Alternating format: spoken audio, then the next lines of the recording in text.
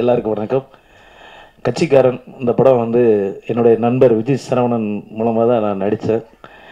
அவர் நாங்கள் ரிஹர்சல் பண்ணிட்டு போவோம். நீலா கபடி குழு அழகர் சாமியின் குதிரை அதுலேருந்து எங்கள் கூடவே இருக்கிறார். வீட்டில் ரிஹர்சல் பண்ணிகிட்டு இருக்கும்போது நடிகரை பார்த்துட்டே இருப்பார். அவரும் நடித்து வந்து பார்த்துட்டு இருப்பார். ஆனால் இது வந்து இப்படி ஒரு நடிகராக வந்து நிப்பாட்டுன்னு நான் எதிர்பார்க்கல. உள்ளுக்குள்ளே அவ்வளோ ஒரு விஷயம் வச்சுருந்துருக்காரு வெளியே காட்டிக்கவே இல்லை. ஆனால் சின்ன சின்னதாக பண்ணிகிட்டு இருந்தார். நானும் ஓகே சின்ன சின்னதாக தான் பண்ணிகிட்டு இருக்காரு பரவாயில்ல. ஏதோ ஒரு ஆசைக்கு ஏதோ பண்ணுறாருன்னு நினச்சேன். இந்த படம் ஆரம்பிக்கும் போது என்கிட்ட பதினஞ்சு நாளாக ஷூட்டிங் பதினஞ்சு பத்து நாளுக்கு மேலே போயிடுச்சு. என்கிட்ட சொல்லவே இல்லை. திடீர்னு எனக்கு ஒரு ரோல் பண்ணணும். நீங்கள் வந்து பண்ணி கொடுங்க அப்படிங்கிறாரு. யாருங்க ஹீரோ அப்படின்னா நான் தான் ஹீரோங்கிறேன் என்னங்க சொல்கிறீங்க ஹீரோ ஆகிறதுங்கிறது சாதாரண விஷயம் கிடையாது.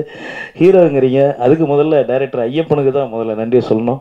என்னன்னா ஒரு படத்தில் வந்து வில்லனாக நடிக்க வச்சுட்டு அடுத்து ஹீரோவாக நடிக்க வைக்கிறது ஒரு டைரக்டரால் மட்டும்தான் முடியும். என்ன தான் நம்ம முயற்சி பண்ணாலும் இன்றைக்கி நம்ம ஒரு நடிகனாக வெளியில் தெரியணும்னா டைரக்டருங்க தான். இன்றைக்கி நம்ம எல்லாரும் நாங்களாம் வெளியே தெரியணும்னா டைரக்டர் தான் காரணம்.